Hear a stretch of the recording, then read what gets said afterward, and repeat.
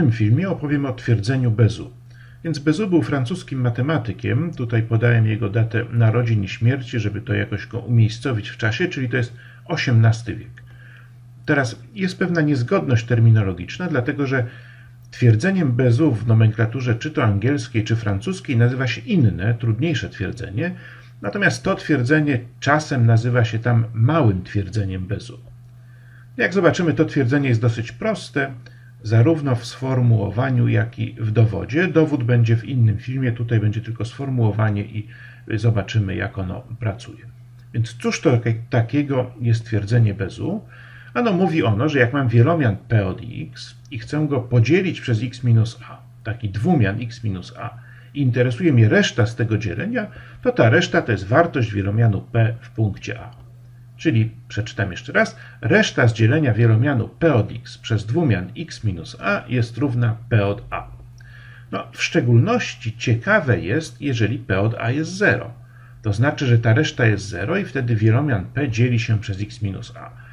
Czyli szczególnym przykładem tego twierdzenia bezu jest takie twierdzenie, które czasem to twierdzenie nazywa się twierdzeniem bezu, że wielomian p od x dzieli się przez dwumian x minus a wtedy, tylko wtedy, kiedy p od a jest 0, czyli a jest pierwiastkiem wielomianu p. Czyli, że liczba a jest pierwiastkiem wielomianu p wtedy i tylko wtedy, kiedy p dzieli się bez reszty przez x minus a. Dobrze, zobaczmy, zobaczmy jakiś przykład. Sprawdźmy niejako to twierdzenie na przykładzie. Weźmy wielomian q od x. To jest 3x kwadrat minus 4x plus 7 i chcemy go podzielić przez x minus 1. I pytamy się, jaka jest reszta.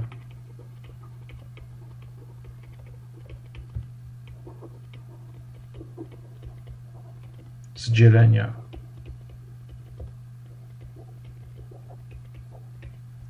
q od x przez x minus 1.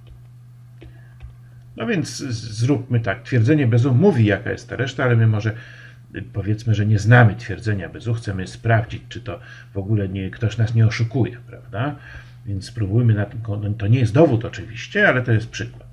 Czyli co? No żeby, żeby bez twierdzenia bezu odpowiedzieć na to pytanie, to musimy podzielić, prawda? Podzielić q od x przez x minus 1. No więc spróbujmy podzielić, czyli 3x kwadrat minus 4x plus 7 no, dzielimy wielomiany przez x minus 1, więc jeżeli nie wiecie, jak się dzieli wielomiany, to mm, zachęcam do przerwania oglądania tego filmu i obejrzenia filmu o dzieleniu wielomianów.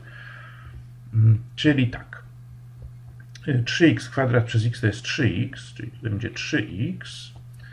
No i tu mamy 3x kwadrat y, minus 3x. Tak? I teraz odejmujemy, odejmujemy od siebie, czyli tak, tutaj nie mamy nic, minus 4x minus minus 3x, czyli zostaje minus x plus 7.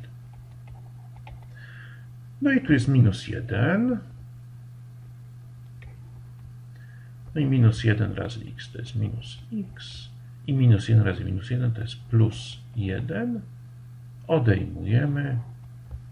I zostaje nam reszta 7 minus 1, czyli 6. Y, czyli zapiszmy to, czyli co to znaczy, że, że wykonaliśmy takie dzielenie? To znaczy, że wielomian 3x kwadrat minus 4x plus 7 równa się, no właśnie, ten wielomian 3x1, 3x minus 1 razy wielomian x minus 1 plus reszta i to jest ta reszta.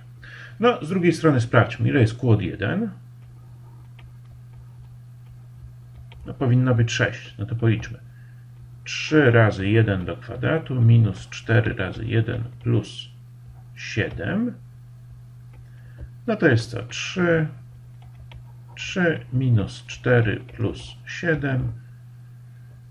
Czyli rzeczywiście 6.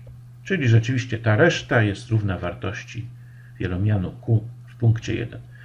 No i dowód twierdzenia bezu właściwie jest y, prawda, dosyć prosty. Ja nie będę tutaj go, go yy, przytaczał, ale zachęcam właściwie do próby samodzielnego udowodnienia tego twierdzenia. Jeżeli sobie uświadomimy w ogólnej sytuacji, co to znaczy podzielić wielomian q przez wielom, przez taki dwumian x minus a, jeżeli potrafimy to jakoś zapisać w podobny sposób jak tutaj, no to mamy właściwie dowód twierdzenia Bezu.